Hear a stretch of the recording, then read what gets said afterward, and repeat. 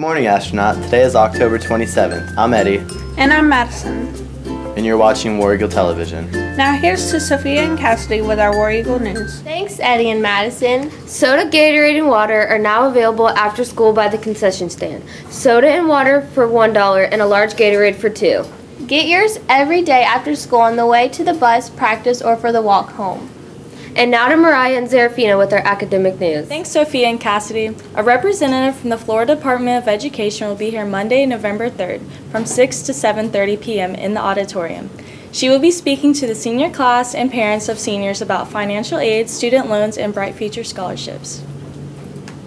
Are you heading for college but concerned about your test scores? Do you struggle with timed tests? Would you benefit from some test taking strategies and some ACT and SAT practice? A new nine week elective class for ACT and SAT test prep is available during second block. See your guidance counselor for more information. Tomorrow, the Army Aviation will bring its simulator to Astronaut. It will be parked all day in the Old Driver's Ed range. All classes are invited to bring their students. Now to Maureen and Anna with our club news. Thanks, Serafina and Mariah. Books with a Bike Club will be meeting on October 29 to discuss Burning Blue. Hope to see you there. There will be a senior class meeting to address cap and gown pre-orders with Jostens tomorrow during second block. There will be more info to come. If you are a member of National Art Honor Society, there will be a meeting right after school today in the art room. See you there.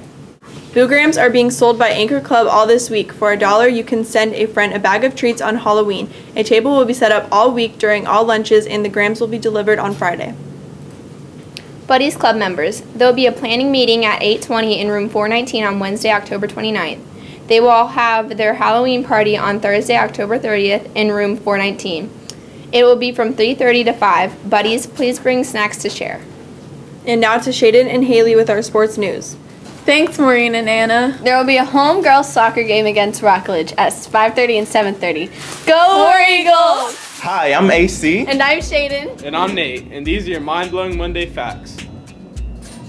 Every two minutes, we take as many photos as all of humanity during the 1800s. It is estimated that this year humans will take 880 billion photos, not including cats. In fact, 10% of all the photos ever taken were taken in the past 12 months. And when you look this good, you gotta take a selfie. So come on, y'all. Selfie!